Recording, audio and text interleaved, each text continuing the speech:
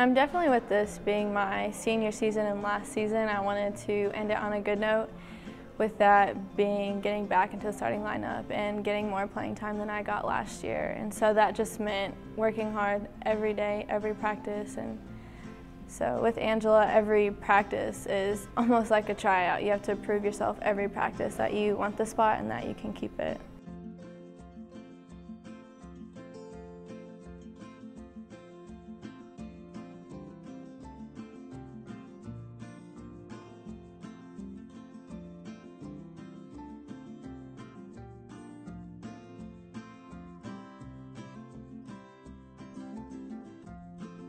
Angela likes liberos who are great at serve receive.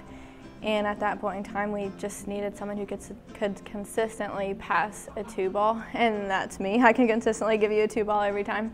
Um, and then along with that, defensively, I was picking up a lot of things, and um, so I think that's what she appreciated.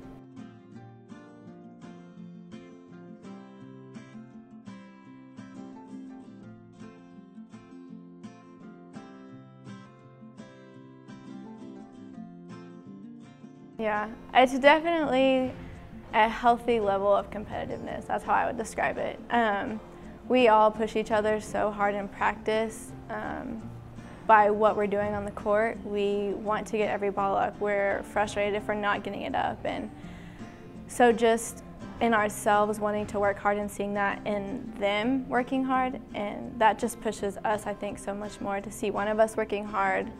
It just kind of feeds off of each other.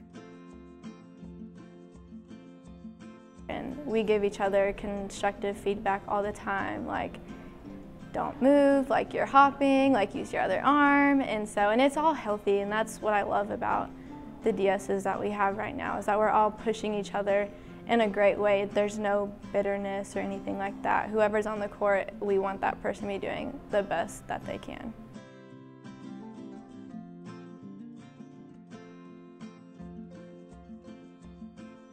Uh, definitely, yeah.